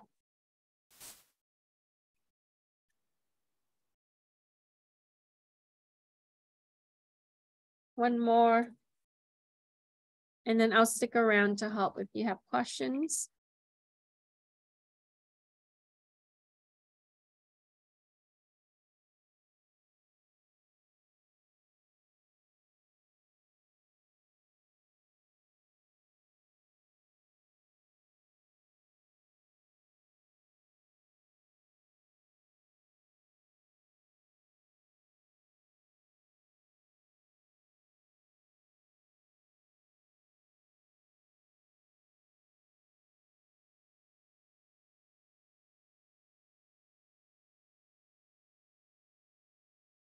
Okay. So for 20, we're going to take two lists. This is a two dimension list. Okay. And the way that you read this is, is like a table. This is the first list. This is the second list. So think of it like columns and rows. Okay. So Jack is 22. Lisa is 27 and so on. And that's how we intended for it to, for it to be. So this is a 2D. In Python, anything more than two dimension, we use a dictionary. I love that about Python in that, so when we do read list comprehension, we would normally use dictionary comprehension when it's 3D and more, right? Other languages, you have to nest it so many ways in the arrays. So what we're going to do is we're going to access this list and this list using a for loop. And so that way we can display each of the user and their appropriate age. Okay. So here we go. Last one. This shows you how you can use 2D lists or comprehend a 2D list. That's what it's called. Okay. So I have a list, so make sure that we recopy what we give we were given. I have students, Jack, Lisa, Tomas, and Daniel. So these are their ages. I'm missing one. Sorry, guys. A second, let me double check.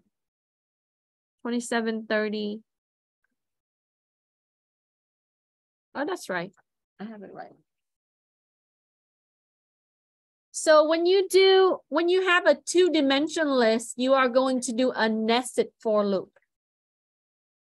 That means that it's going to loop on the outside, which is the first list. It's going to access each of the element like Jack, Lisa, Tomas, and Daniel, while it's doing a loop on the inside. So it's going to do Jack 22, Lisa 27, and so on. That's what we intended for, the, for it to do. So we would say for i, this is the index of the element in range of the entire list. And then for j, which is the index of this list, in range of students, okay, we are going to print both i and j. And then print. So to show that Lisa is 27, you would do a print I1 for I in students. So this is an option. Okay, so you can stop like right here. That's fine. I want to show you how this is different for each. This is optional. Okay. But if you just want to print Lisa, it's going to access the second element, right? On, so this is the list number, which is list one, list zero, the first list, and the second element. So first list, second element. That's how you use index. If I want to access 27, second list, second element. Okay. It is confusing, but we start with zero for that. Okay.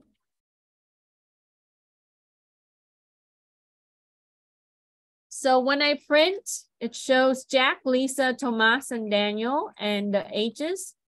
To print Lisa, 27. I do four, print I, one, for I in students. So to do two-dimension list comprehension, we should use, we should use um, nested for loop. Okay. So when you have a two dimension list, list number, index number, that's how it works. Like Lisa, 27, list zero, index one.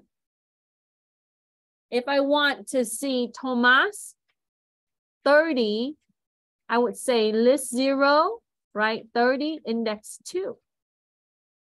Daniel, list zero, index three. Or I'm sorry, uh, one, zero, one, three and three and three. As you are Lisa, print one and one. So 30 is gonna be zero, one, two, two. List one, two.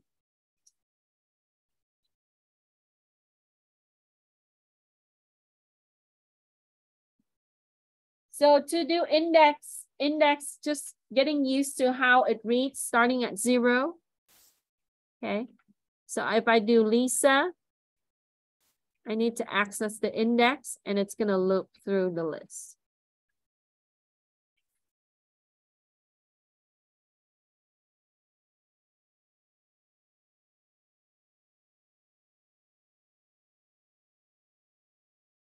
Okay. Save, print screen. You did a lot today. This is sometimes loops is a little harder and also list is also nest list is difficult. I'll come back to the two dimension list later on. Um, so we'll talk about it more.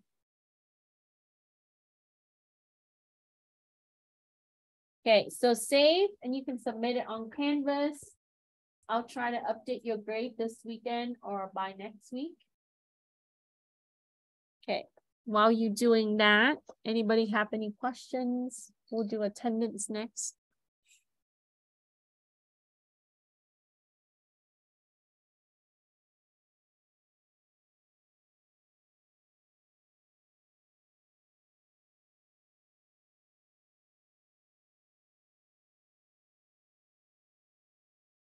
Oh, sorry, was someone still working on their, uh, their program?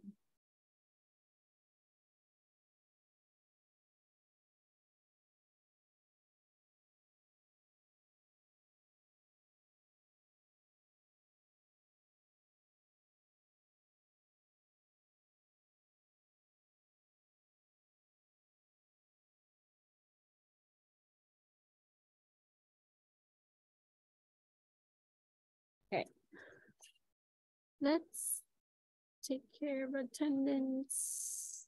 Hmm.